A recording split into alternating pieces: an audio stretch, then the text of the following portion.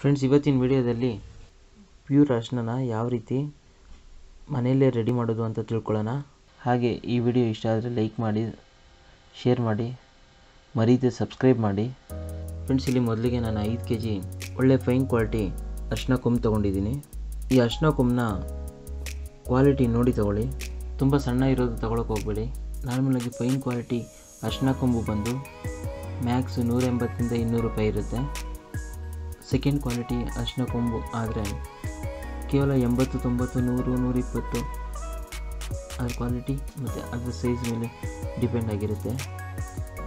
ಮೊದಲಿಗೆ ಮಾರ್ಕೆಟಲ್ಲಿ ತಂದಿರ್ತಕ್ಕಂಥ ಅರ್ಶಿನ ಕೊಂಬನ್ನ ನಾವು ಕ್ಲೀನ್ ಮಾಡಿಕೊಂಡು ಬಿಸಿಲಿಗೆ ಹಾಕಿದ್ದೀನಿ ಯಾಕಂದರೆ ಅರ್ಶಿನ ಕೊಂಬು ತೇವಾಂಶ ಇರೋದ್ರಿಂದ ಮೊದಲಿಗೆ ಅದನ್ನು ಬಿಸಿಲಿಗೆ ಹಾಕಿ ಆನಂತರ ನಂತರ ಒಳ್ಕಲ್ಲಲ್ಲಿ ಕುಟ್ಕೊಳ್ಳೋಣ.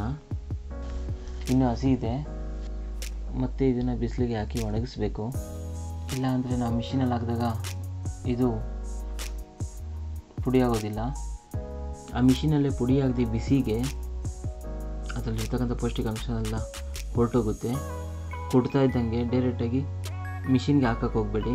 ಮತ್ತೆ ಅದನ್ನು ಕ್ಲೀನಾಗಿ ಒಣಗಿಸಿ ಇಲ್ಲಿ ನೋಡಿ ಇಲ್ಲಿ ಏ ರೀತಿ ಒಣಗಿದೆ. ಎಲ್ಲ ಫುಲ್ಲು ಡ್ರೈ ಆಗಿದೆ.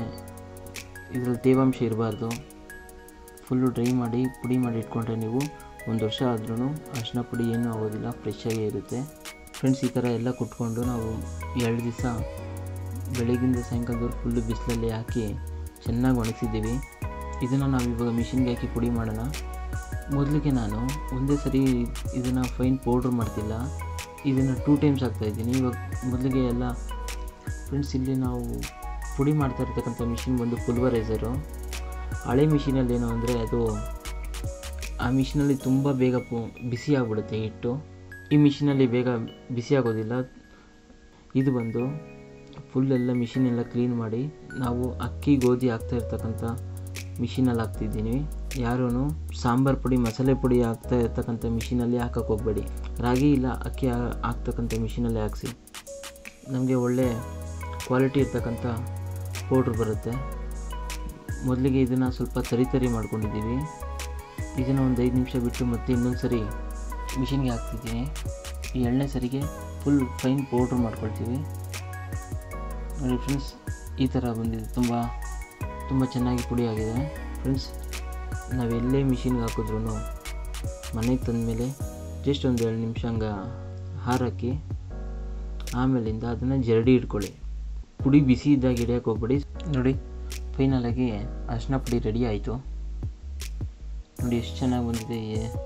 ಫ್ರೆಂಡ್ಸ್ ಇದು ಬಣ್ಣ ಮಾತ್ರ ತುಂಬ ಸೂಪರಾಗಿದೆ ಆ ಘಮನೇ ಬೇರೆ.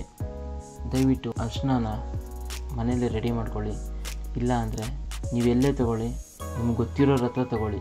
ಫ್ರೆಂಡ್ಸ್ ಯಾರಿಗಾದ್ರೂ ಆರ್ಗಾನಿಕ್ಕು ಪ್ಯೂರು ಅರಿಶಿನ ಪುಡಿ ಬೇಕು ಅಂದರೆ ವಿಡಿಯೋ ಕೆಳಗಡೆ ನಂಬರ್ ಬರ್ತಿದೆ, ಹಾಗೆ ಡಿಸ್ಕ್ರಿಪ್ಷನಲ್ಲೂ ನಂಬರ್ ಹಾಕಿದ್ದೀನಿ. ಕಾಂಟ್ಯಾಕ್ಟ್ ಮಾಡಿ. ಆಲ್ ಓವರ್ ಇಂಡಿಯಾ ಡೆಲಿವರಿ ಇರುತ್ತೆ. ಹಾಗೆ ನಿಮಗೆ ಗೊತ್ತಿರೋದು ಇನ್ನೂ ಏನಾದರೂ ಮಿಸ್ ಆಗಿದ್ದರೆ ತಪ್ಪದೆ ಕಮೆಂಟ್ ಮಾಡಿ.